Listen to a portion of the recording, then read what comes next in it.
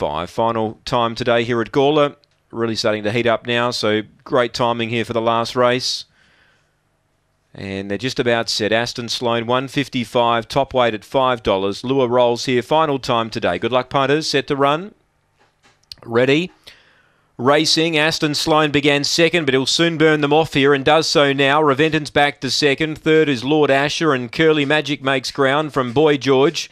Top weight drifts back, and Woodside Zorro's at the rear. But if you're on Aston Sloan, you're looking good. Led by seven or eight here to Lord Asher. Reventon running on with top weight, but they spin the bend. The last favourites home. They're all playing for second. Aston Sloan bolts in. Second top weight, I think, from Reventon in a head bobber. Lord Asher and Boy George in a photo for fourth. And Curly Magic was able to beat home the other reserve, Woodside Zorro. in the time for the last around the 22.70 mark. Aston Sloan, it was pretty painless if you backed the favourite. Too good, 170 on the uh, Ubet tote.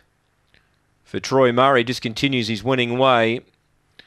Second, a photo resting between Topweight and Reventon. And that'll be close and a photo for fourth resting between Lord Asher and Boy George. 8.51 the early sectional. 22.71 the time. 14.20 on the way home. And it's three the winner. Three and a photo here on the last. We stand by for all.